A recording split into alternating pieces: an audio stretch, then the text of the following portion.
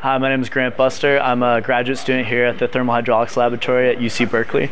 I work to develop a fundamental understanding of, of how pebble fuel moves through a reactor core. This is kind of the central column, and this would be rotated around. It's kind of an annulus, uh, a donut-shaped core. Um, some will exit the reactor core quite quickly, while others will be held up for, you know, maybe months at a time every time we, we defuel a pebble, you can actually assay these pebbles using gamma ray spectroscopy to uh, discern what the burnup is of this pebble and whether it should be placed back into the core or whether it should be put in storage.